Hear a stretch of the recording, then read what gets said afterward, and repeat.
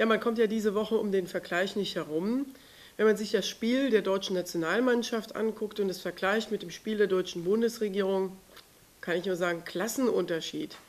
Und in einem normalen Turnier wie bei der WM, wenn da eine Mannschaft schlecht spielt, dann scheidet sie irgendwann aus. Diese Bundesregierung spielt jeden Tag schlecht. Nein, unterirdisch schlecht.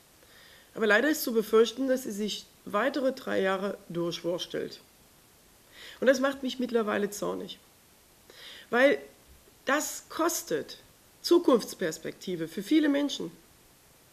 Nehmen wir das Beispiel Bildung. Ich hatte schon in der letzten Woche berichtet, dass das Sparpaket einen Kahlschlag bei der beruflichen Qualifizierung organisiert, weil im Haushalt für Arbeit und Soziales gespart wird. Und diese Woche Bildungsgipfel. Groß angekündigt, 10 Prozent des BIP sollen für Bildungsinvestitionen her dringend erforderlich, völlig gescheitert. Auch wegen der Unfähigkeit von Frau Merkel mit den Ländern einen fairen Deal zu machen, wer die Kosten trägt. Es wird immer klarer, unsere Bundestrainerin Angela Merkel hat kein Konzept vom Spiel. Und das ist ziemlich bitter.